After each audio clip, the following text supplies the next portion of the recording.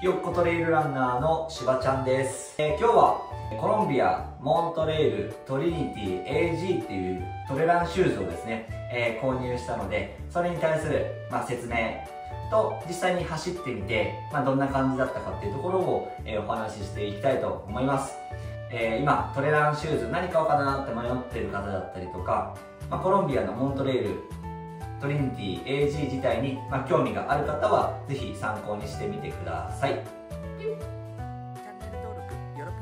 というわけで実際靴の方ね見ていきたいと思います。コロンビアモントレイル。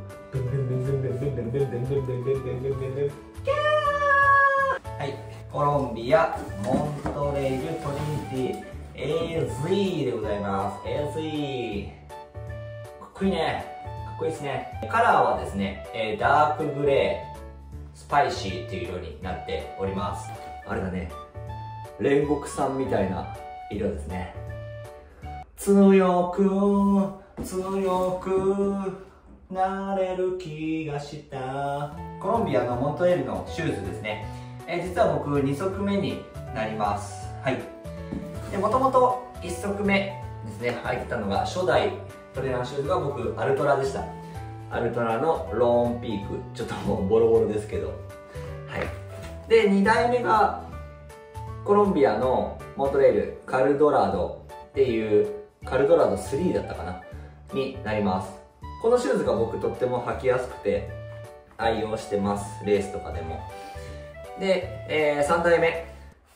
人生一度きり掴みたいカライマーがえっ、ー、と、ホカのチャレンジャーの6にしました。はい。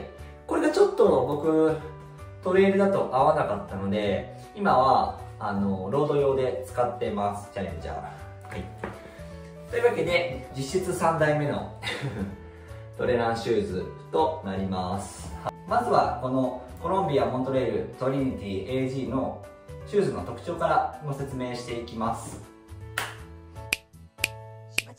このコロンビア・モントレール・トリニティ AG の特徴は、えー、オールラウンドっていう風に言われています。はい。なので長い距離だったりとかロードトレイルいろんな場所で使えるような、えー、シューズとなっているみたいです。で僕も実際あの店舗で履いてみて思ったんですけどめちゃくちゃ僕の足にはフィットしました。フィット。はい。結構僕あの足が大きくてですねで、まあ、日本人特有の甲が高い甲高。で足の幅も若干ね広いのでなかなか合うシューズがなかったりするんですけどえーと、すごいフィット感が強いシューズの一つでした。このシューズの特徴としてはこう普通のランニングシューズってこう何ていうんですか シューレースがねまっすぐなんですけどちょっと斜めになってるんですね。わかりますかね？これ違いを比べてみてください。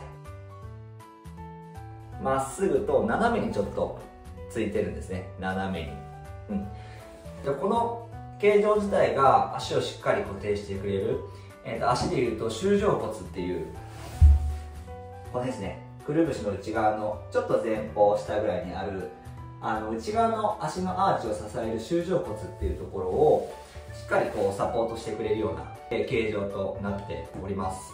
このフィット感によってかかとのズレを軽減してつま先へのストレスを軽減していきます。はい。結構あのやっぱりトレイルは下ってる時とかにキュッとこう潰れたりしやすいんですけどつま先の部分もしっかりしてるのであの保護してくれる感じです。なので僕も足の甲が高くて広かったりするんですけど、まあ、この斜めの、えー、シューレースによってその圧を少し分散してくれるような構造になってます。あとは中に内臓のプレートが入ってるみたいでその内臓プレートによって前に進む推進力だったりとか反発性ですねを、え、作り出してくれるので、え、快適に走れるみたいです。で前足部もこんな感じでふにゃふにゃと曲がりやすいので、まあ、しっかり柔軟に対応してくれるシューズかなと思います、えー、ソールですね。このデコボコわかりますかね？大体こんな感じ。結構しっかりしてます。これラグっていうんですけど、まあ、滑りやすい路面特に不整地はありますのでそれに対してのグリップ力ですね。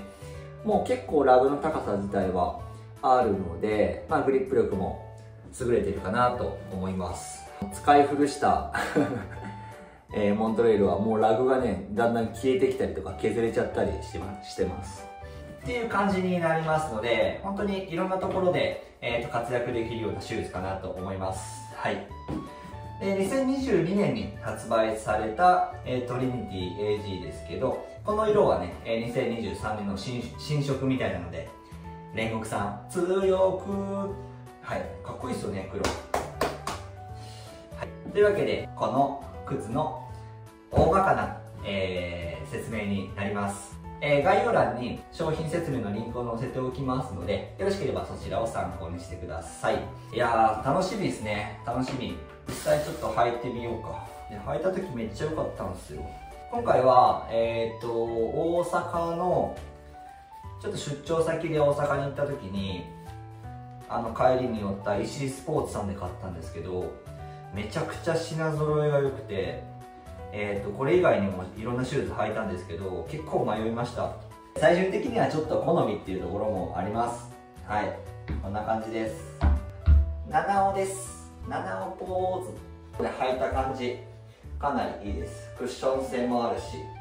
まあ実際にあのトレランショップとか行くとこういう坂とかね凸凹の道があるんですよ。登山ショップとかでもそうなんですけど。で実際のこうねこうやって歩いたり軽く走ったりできるんでシューズを選ぶ時には参考にしていただければいいかなと思います。えっと、そもそもトレランシューズを選ぶ時なんですけどなかなか普通のスポーツ用品店だったりとかには取り扱いがなかったりするので、まあ、トレランショップとかに行ったりとか都心の大型店舗に行ったりすると結構品揃えはあります。はい。僕は愛知県に住んでるんですけどなかなかトレラン専門ショップっていうのはなくてですね、えー、名古屋の方まで行ってます。トレラン専門店に行くと本当に店員さん詳しくてシューズの特性とかもいろいろ教えてくださるので、まあ、最初迷ってる方はあの専門店に行って履いてみて試してみることをおすすめします。では実際にこれからねこれ履いてちょっと思想がてら走っていきたいと思います。イエチャンネル。はいというわけで、えー、練習場所の子供の国に来ました。はいちゃんと靴履いてます。安心してください。履いてますよ。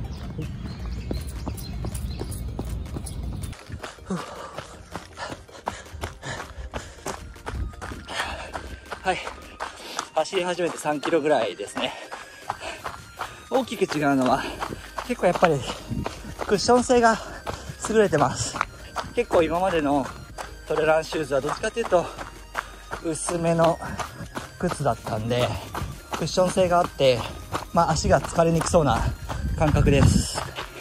今んとこ気持ちよく走れてます。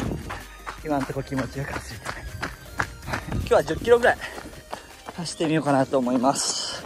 ちょっとトレイルの道も行ってみようかなと思います。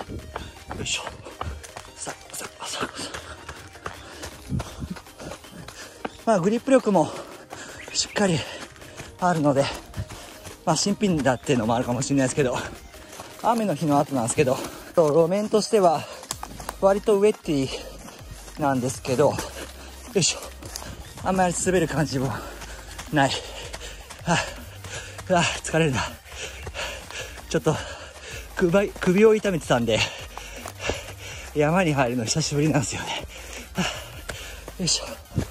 上りや下りでの違和感も今のところないです。抱き汗。暑い。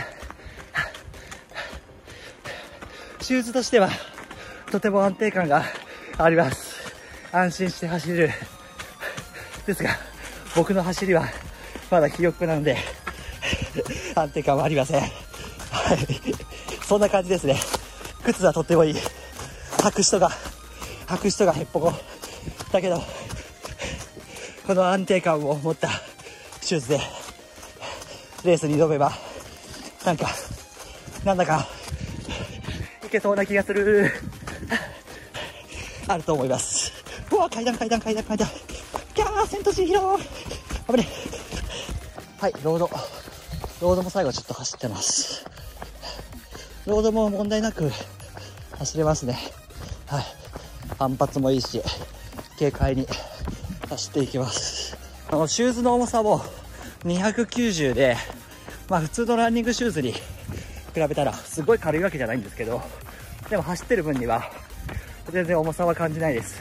ロードもトレイルも。はい。いいですね。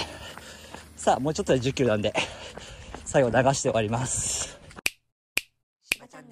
はい、というわけで、えー、コロンビア、モントレール、トリニティ AG の思想をしてきました。じゃん。はい、えっ、ー、と、10キロほどアップダウンのある道とトレイルとロードをちょっといろいろ走ってきましたけど、えっ、ー、と、結論、とてもいいシューズだなと思いました。というか僕がとても履きやすいです、はい、今までシューズ履いてちょっと合わなかったなっていうシューズもあったんですけどちょっとまだ1 0キロしか走ってないんで何とも言えないですけどクッション性もあって反発性もありあのグリップ力もあってとても軽快に走れる、えー、シューズだなと思いました。なんかこう締め付け感もそんなにないしかといってなんか緩い感じでもなくてかかととかこの足の甲のとこですね。しっかりフォールド感があるのであのー、気持ちよく走れました。はい。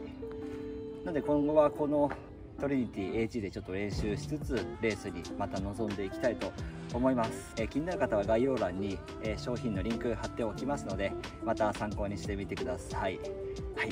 というわけで今日はコロンビアモントレールトリニティ AG の思想でした。はい。じゃあまたね。ご視聴いただきありがとうございました。チャンネル登録高評価応援よろしくお願いします。